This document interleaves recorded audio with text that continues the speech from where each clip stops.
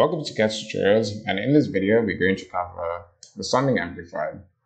So this is the formula of a summing amplifier. Your output will be the sum of the feedback resistor divided by the first input resistor, let's call it Rn1, multiplied by its voltage, plus, so this can go on and on and on, just that for this example we're going to stop at 3. Right. So you can add multiple voltages, so that should be 2. This over here should be 2, right? So you have voltage connected to each path, and along that path you have a specific resistor. So that is the resistor that actually divides the feedback resistor. And as you can see, the feedback resistor is the same throughout. So now let's erase this and start building our circuit. So first of all, we're going to take our op amp, suppress F2, type OP, take OP07, take a resistor, rotate it, place it there. That'll be our first divider or the first resistor along the path. Take another one and the last one. Let's place it there. You're going to have a feedback resistor as we saw. So let's place it up there.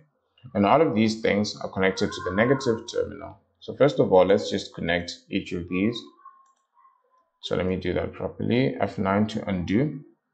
Then F3 again to get the wire. Okay. Then I'm going to take that point there. And if I want to make it neat, I can just press escape now. Then shift this downwards. So F7 to select a component and F3 to connect that. Then I'm going to connect this top thing as well. It's a bit too far, so let's just bring it closer. So I'm going to stop there, press escape, F7, take that, bring it there, F3 again to connect these. And we are almost done. All that's left is to connect this point here to ground then connect each of these sides to an input voltage. So let's take a voltage source by pressing V, rotate it so that it's in this direction. Place it there, place another one there, another one there. Connect these things using wires. Then press G to ground all of them. So this is one way you can do it or you can just do this method, which we use to power our op amp, right? So you don't necessarily have to put them there. You can just have them separately as well, just like how we power the op amp.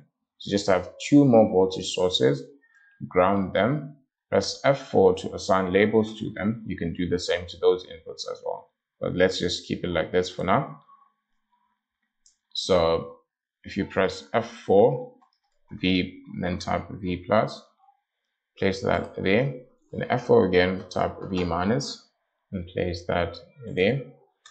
Right click on your voltage source, give it a value of 5 volts, give the other one a value of minus 5 volts.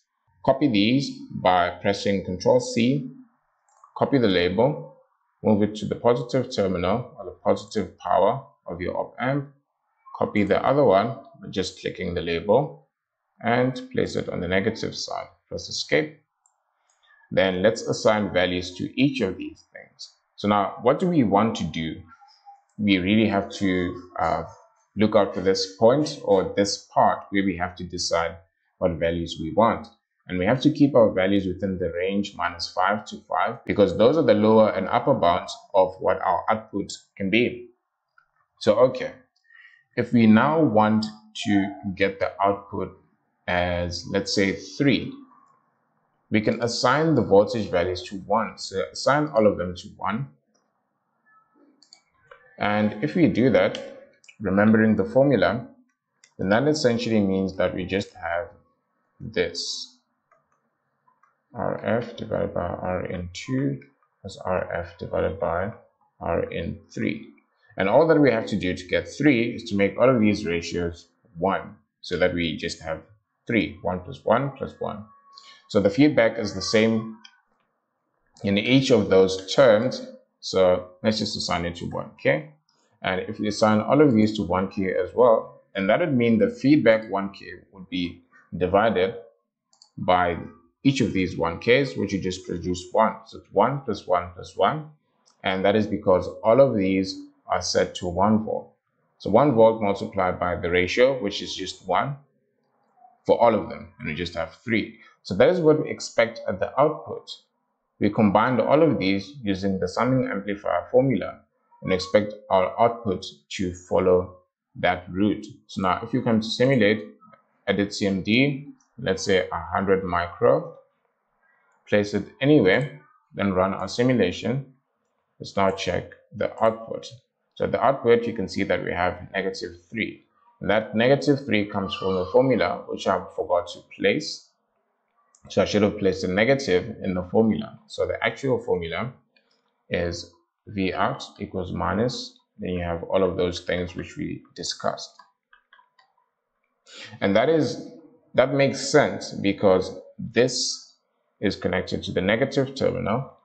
And if you analyze this circuit to find V out, which we haven't labeled, but you can just label that F4 V out, so if you want to calculate what V out is, most textbooks do that, or you can just do that by yourself, then you should be able to see that this negative actually plays a role in that.